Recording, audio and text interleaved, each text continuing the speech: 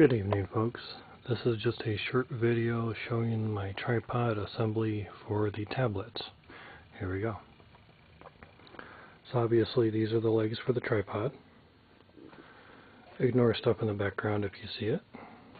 So this is the setup that I have. One quarter 20 screw mounted through here. I don't have a lot of great lights at the moment, so have to bear with me. So I have the lamp part extended all the way up.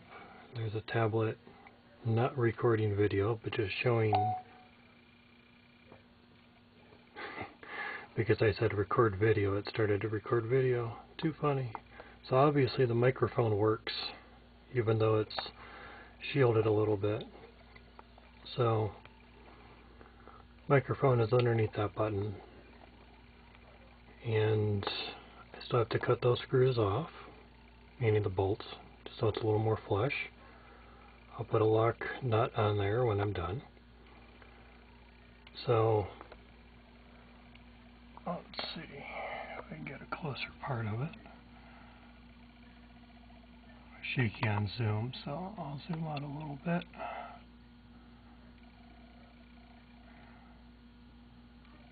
Uh, maybe I'll get, maybe it's better over this way. Trying to get over the pop can crusher here. So I've got it framed out, notched out, pretty decent. And just so everything's strong, the tablet is holding onto a one piece that's bolted together. The back side is what has the glued 6 inch L brackets on it. So to lower it down, I would just undo this. I have a black line to show me how far not to go, meaning not to go past. So if I unloosen this, it'll let this rotate. And because this part is notched out, this part in here, because that's notched out, I can go very, well, if it was this way I can go lots of degrees basically it will let me go up to here and all the way down. And probably to about there. So maybe 270 some degrees travel. Not too bad. Now if I want to I can take this off here and use these clamps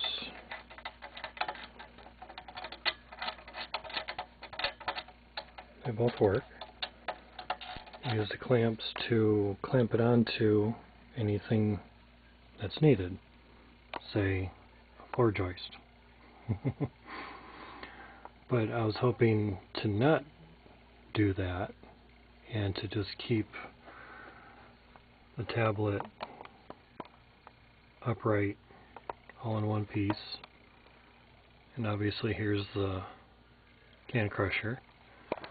So being that it's recording video up here, we can see continuous shots of the can crusher from above, which is nice. I've accomplished what I wanted to do for free. Just step back here a little bit, maybe a little bit more, get you the whole picture. So it's way up in there, as high as it can go almost. Obviously the little part right there still lets me have a little more travel left for the height of the bar. So that's my old Astral tripod and its assembly for holding the tablet. Custom made tablet part and so far so good. Later on, I'll be crushing. There's actually three bags there. Two on the blue, and then one on the clear. And this other bag here, yep, from apples, is holding cans for the next bag. Alright, just over five minutes. Thought I'd give you a quick overview of what it looks like. Obviously I can't put this camera on a tripod because it's being used. Right there. You guys have a good day. And till next video, bye bye.